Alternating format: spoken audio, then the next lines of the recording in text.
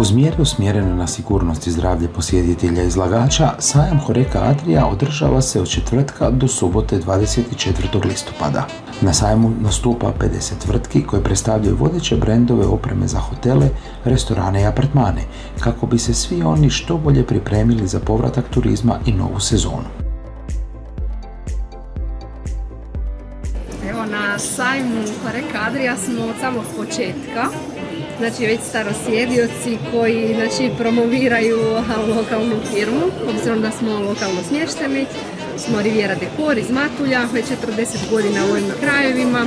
Bavimo se opremanjem interijera, zavjesama i sjenilima tendama. To od toga je zapravo Riviera Dekor i počela.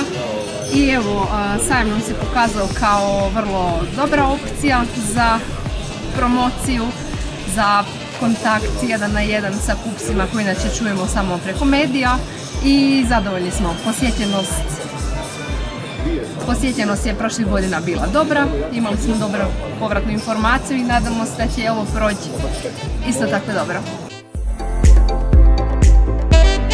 Sukladno trenutnoj situaciji, velik dio u izlagačkom programu zauzela su sredstva za dezinfekciju, čišćenje, održavanje higijene i svega prilagođenog novom normalnom u turizmu.